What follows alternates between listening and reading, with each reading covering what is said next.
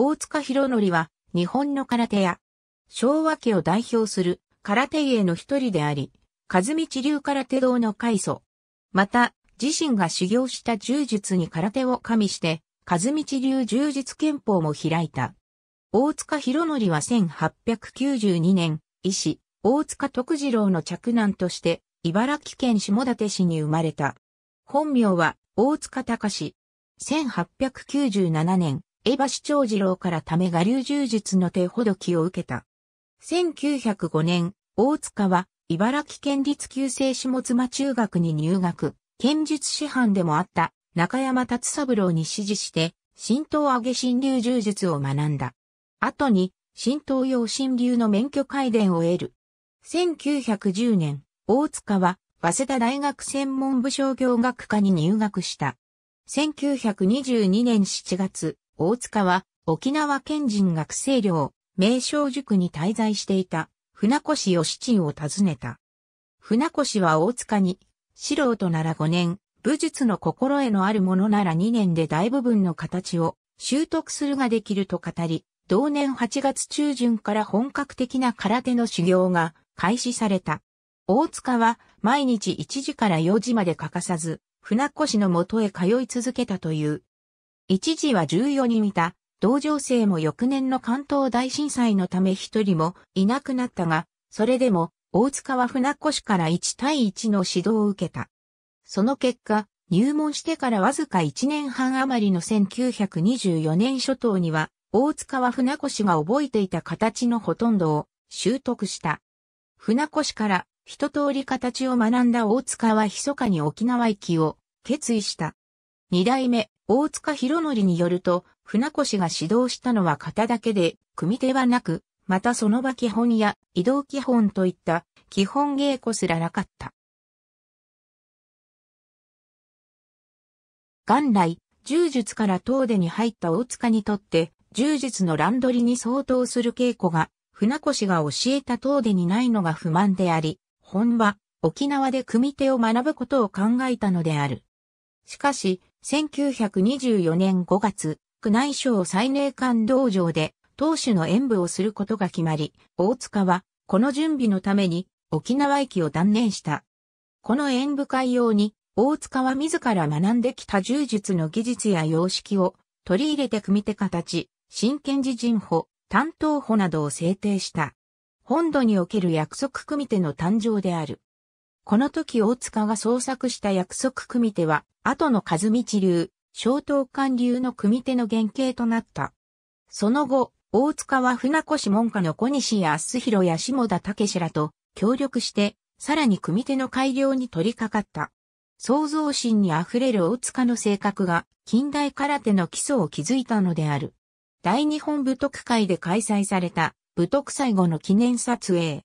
前列左から山田達夫、大塚博則、小西康弘、上島三之助、馬部二健は、他に山口豪元や総安氏柱の姿も見える。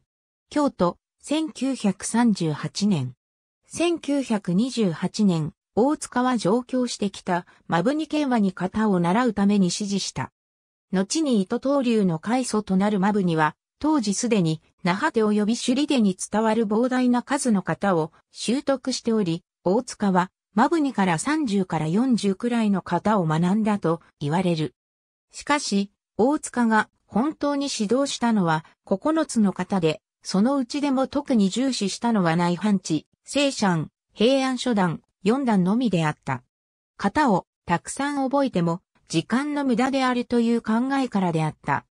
現代の和道流では平安初段5段、内藩地、聖シャン、鎮東、空シャンクに加えて、新位静止、伐採、老廃、ジオン、ジッテ、ワンシュー、そして初心者向けに考案された簡素な基本形の全16種類の形が残されている。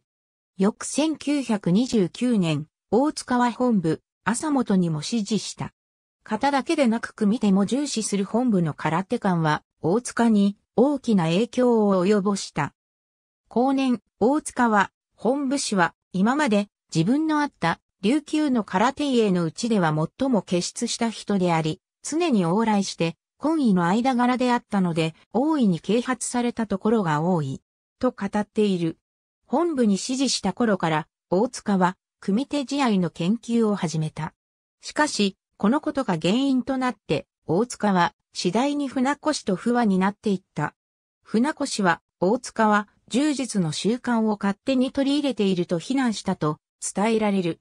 同年、大塚は、日本古武道振興会を発足させた。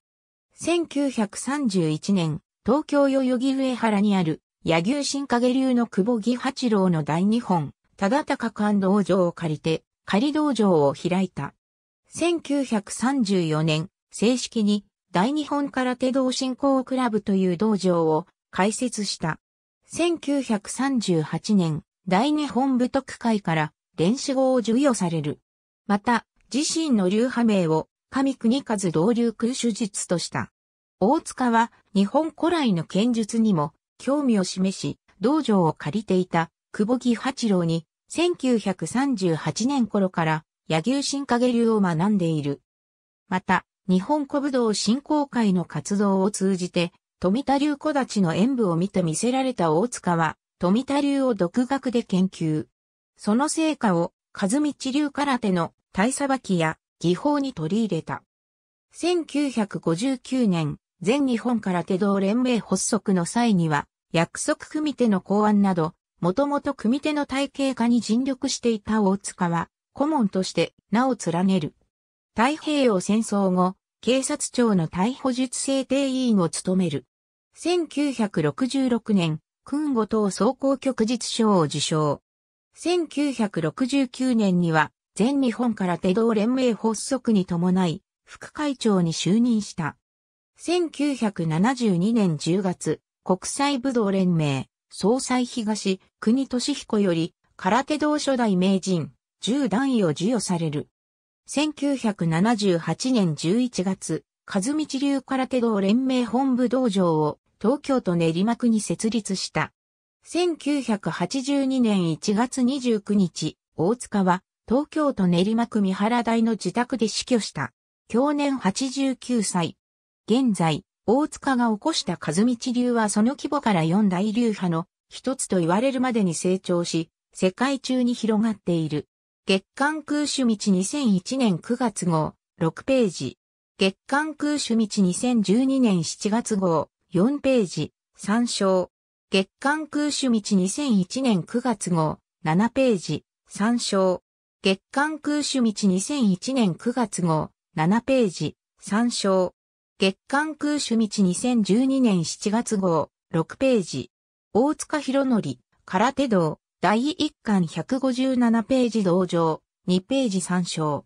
空手道収録の寄稿文、小西康弘、琉球党手術の先達者58ページから59ページ。和道流80年史47ページ、警視庁、武道90年史404ページ、警視庁警務部教養課。ありがとうございます。